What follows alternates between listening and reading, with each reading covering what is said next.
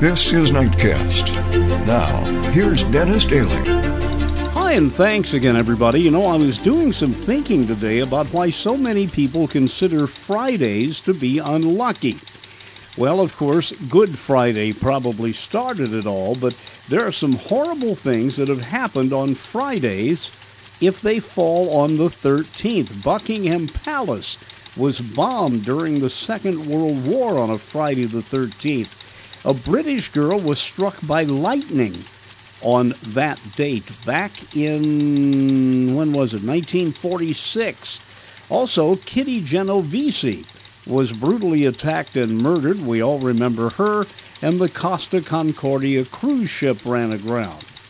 Well, at least today is not Friday the 13th. Have a great weekend. I'm Dennis Daily. Listen for Nightcast with Dennis Daily, Monday through Friday evenings at this time. This is the Shrieveman Radio Network.